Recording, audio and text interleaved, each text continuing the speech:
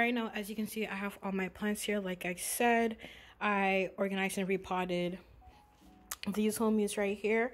So what we're gonna do now, I'm gonna take one, one or two at a time, bring them here, clean them, check for pests, and then put them in that corner. And then once those are all there, as they as they air dry, let's say a little bit, I'll just sweep and like mop real quick. All right. Um, I'm debating if I should clean these guys too because they're they just came from outside. I just had a spider that crawled out of there earlier. Same thing with my Brazilian. Um, why not? I think I'll try. I just don't want to have to attach it and reattach it here. So I'll figure out something I can do. There's also the peace lily here.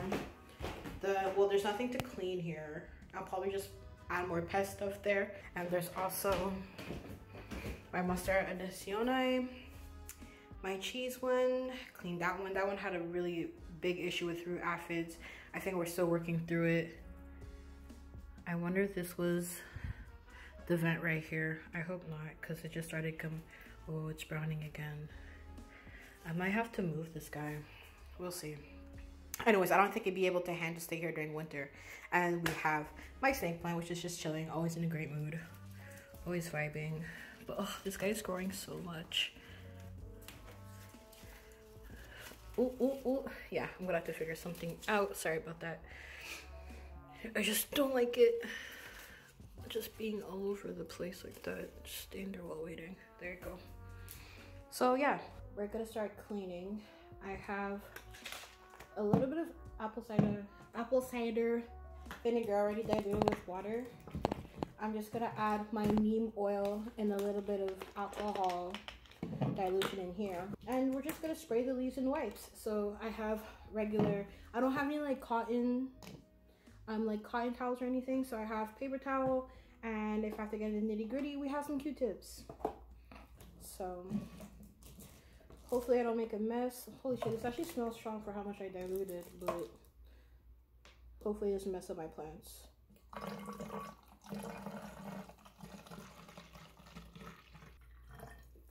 I don't have to go too crazy with it because once I'm done, I'm just going to put it back in here. And we're going to hop right into it. I apologize already if it's like a little bit on the darker side. Um, I don't really have the best lighting, but we are trying with what we have, right?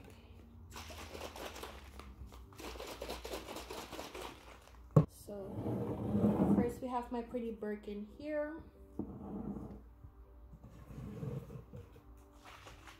Actually, I feel like I should be on my knees. Yeah, I'll grab this pillow. Two minutes. Spray it lightly, just light. I don't go aggressive. I try to be as soft as I can, as I can, sorry.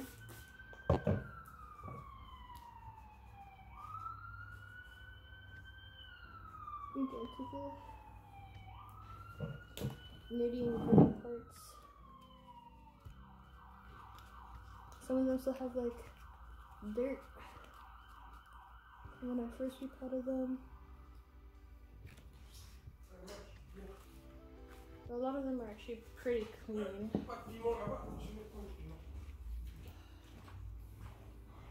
Some of them are a little bit sticky and I think that's from last time when I did like a very deep like neem oil plants. Added way too much neem oil. So for this solution, I actually looked up how much you normally need to, I think we're okay. So that's one down. To be safe, I'm not gonna use the same paper towel. Different paper towel for each plant.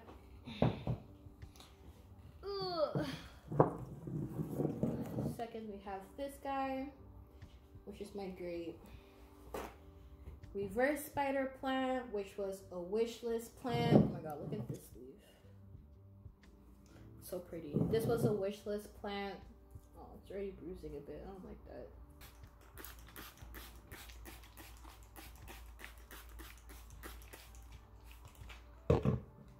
For spider plants, get them out of them, so I just lightly brush over each one rice braid.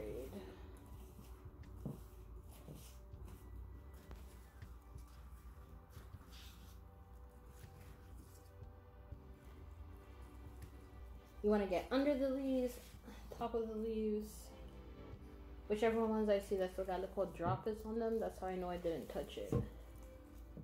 I don't like how this one has like bruises like that. There you go. It's a baby, so she took less time. She's already giving me little flowers, I guess. I don't know if these are actual babies or just flowers because they look so much smaller than my other spider plants babies. Now I'm gonna show you guys, we'll show you guys, now I'm gonna clean one of my pothos propagations. I have two of them, I believe.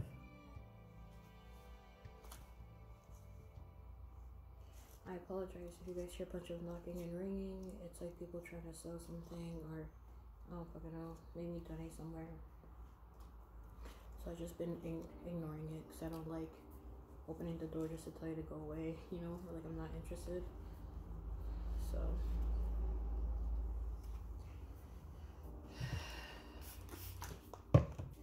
So what I'm gonna do with this guy too, I'm gonna, I'm cleaning it right now, but after I wanna add a totem pole and see if it would be comfortable to go up this way. It's, not, it's a bit weird, but it'll be upside down, but I think it could work. I think I got this side already. Yeah, some of my plants are really sticky from the last thing I did with the, the neem oil drench a little, ugh. my hands are a little sticky, but wipe all this.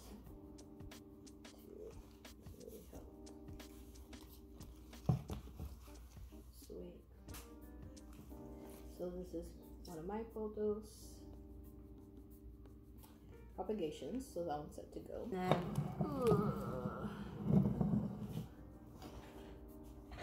We have my second one right here, which is also a propagation that was out here trying to save.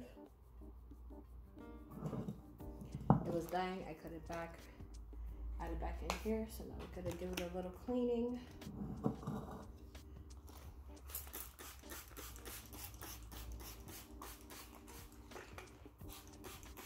I really like the, and I'm not spraying on the soil, just the leaves, because I know I'm going to wipe it off. Sort of nervous to know what it would do to the, the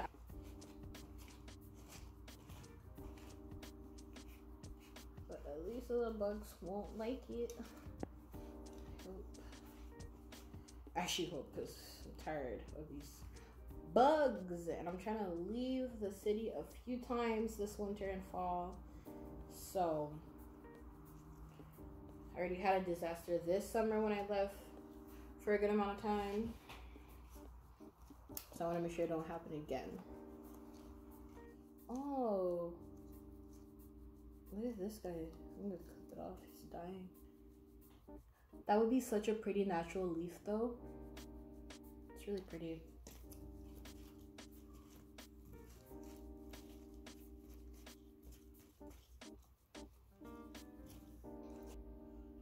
yeah, so here we have my pothos all clean.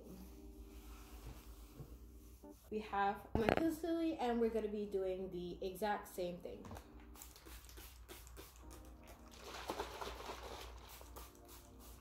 This one has like a dead leaf, so I'm just gonna snip that off.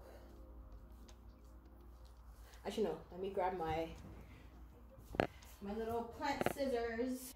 Shears. Sorry, I think I said plant scissors leaving.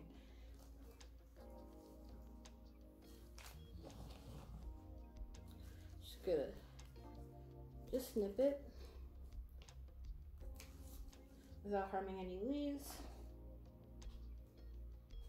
And I can go back to cleaning.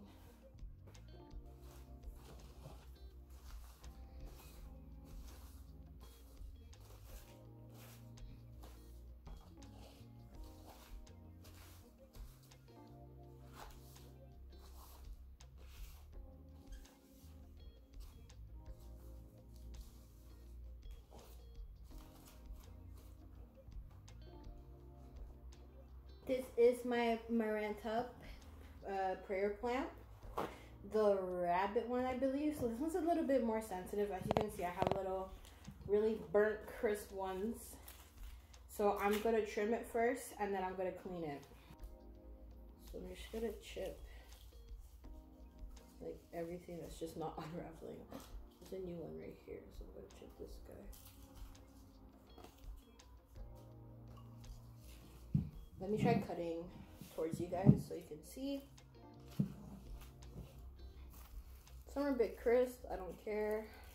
I feel like these ones are that can't even open. I'm gonna snap these ones off.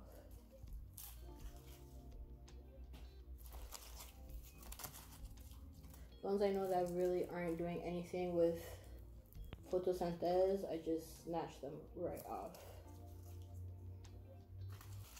I love. I love it regardless. Um, I want to buy more. And I know they're really hard to keep even just like perfect all the time because they love humidity, but this is sis.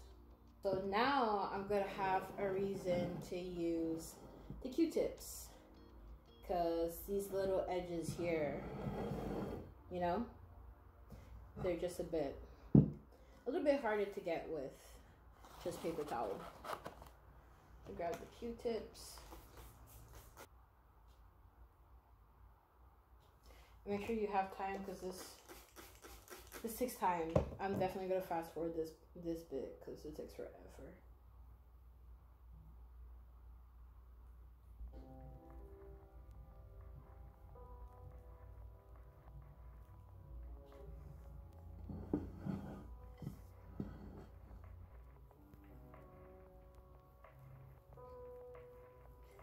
Takes a lot of time, guys, but honestly, it's so worth it when you don't get a shitload of bugs. There you go. Umbrella tree is all done. This one is my um, croton. Just your regular croton. I'm being very wary because this loves spiders. I left it outside. Spiders love this plant. But I haven't gotten spider mites, just actual real spiders. And yeah, so I'm just gonna spray it down. This one is fine with paper towel. And it's time for it to move in, really.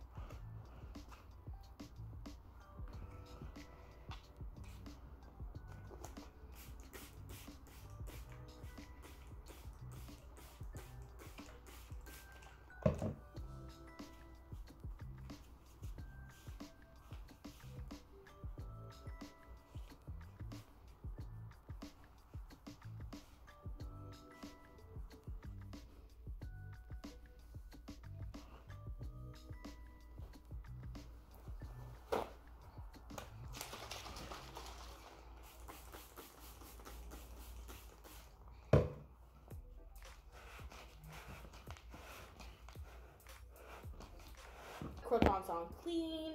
No spiders. This is my Dracaena dragon tree. It I was letting it sit where the other plants were and I have one grow light on top of my monstera. It already started leaning because it was attracted to it.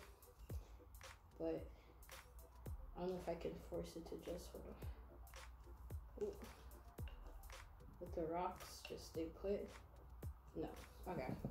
It's fine. This guy's honestly pretty clean. Just my hands that are a bit like weird.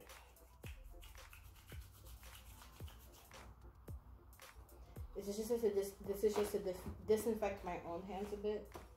Ugh. Sanitize, whatever. I just lightly glide on top of the leaves. Get some dirt off. You see, we have some dirt. Get some dirt off her, off sis.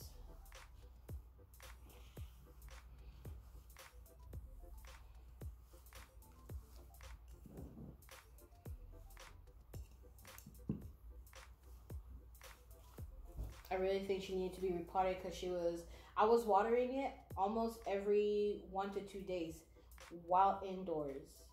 That's not normal. And it's not even in a it wasn't even in a like really close to the window. It's like a good I'm gonna give it a good five feet from my window. Four or five feet.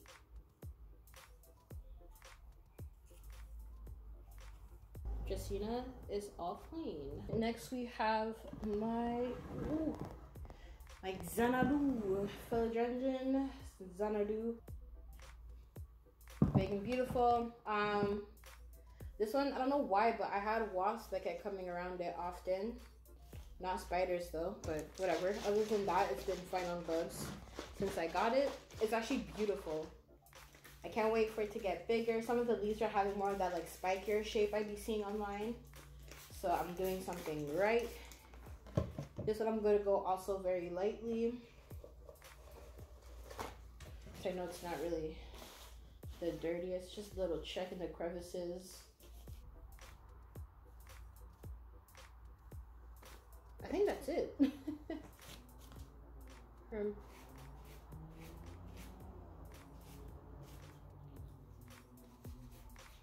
there you go. That was pretty fast. We got some new growth over here, which is really fun and exciting. But overall, she's just happy to be here, you know? Just happy and beautiful to be here. A bit of a weirder angle, but this is my ivy, my English ivy. And I'm just going to spray it down and tickle it a bit with the Q-tips for this one.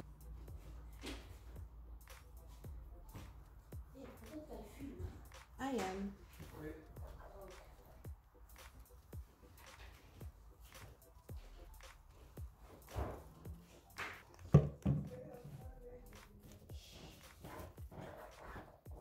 I'm almost done though.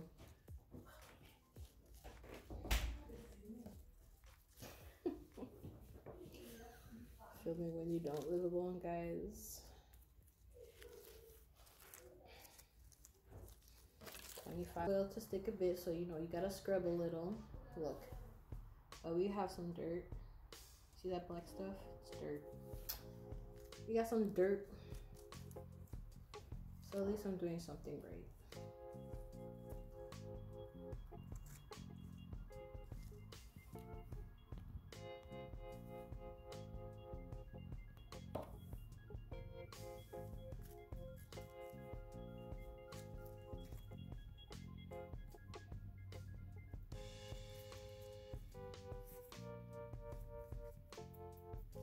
Okay. Whoop.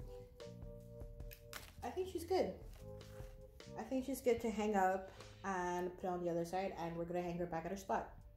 Have another one of the wish plants I was able to get this year, which is mon litop, lithops, lithops. I call them my little brain cacti. No, brain or booty cacti, your choice. Cactus, sorry. They're so cute. Um, and yeah, so we're gonna clean that. I have a Q-tip for this guy. And I'm just gonna just scrub the top really. Just make sure there's not really anything in there.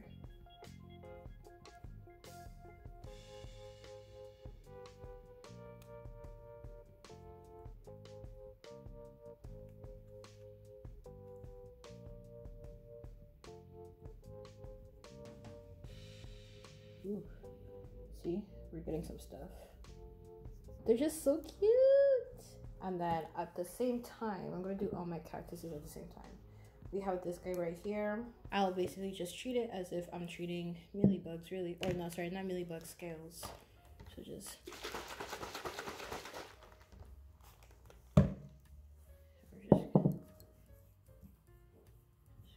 all that area.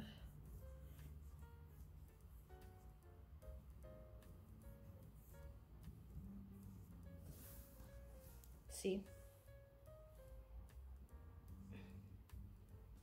Dirty as heck.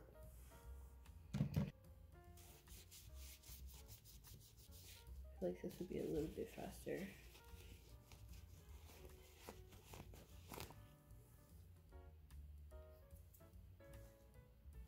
Mm. yeah, it's still started doing its job. Last corner, I'm just gonna spray it looking on my end.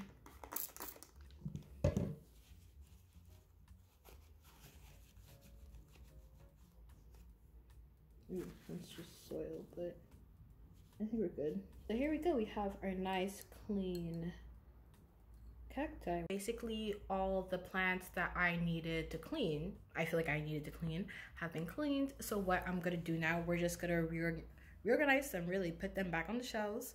And then I'm going to take pictures of the propagations I actually want to sell. Try selling on Facebook Marketplace or Kijiji. I'll try to I'll try posting on both. And yeah, and then I'm gonna put everything away. Um, and then that's day two.